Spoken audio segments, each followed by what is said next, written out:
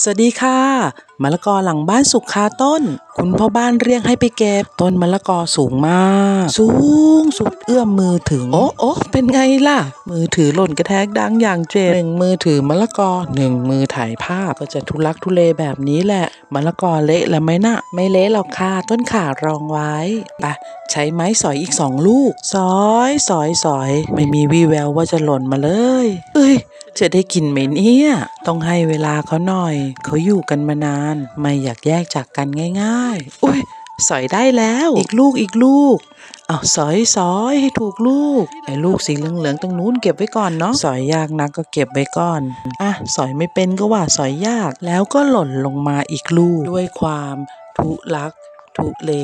ดีนะด้านล่างใบต้นขาเยอะรองมะละกอหล่นพื้น ได้มาแล้วสามลูกมาปอกทานกันเลยค่ะ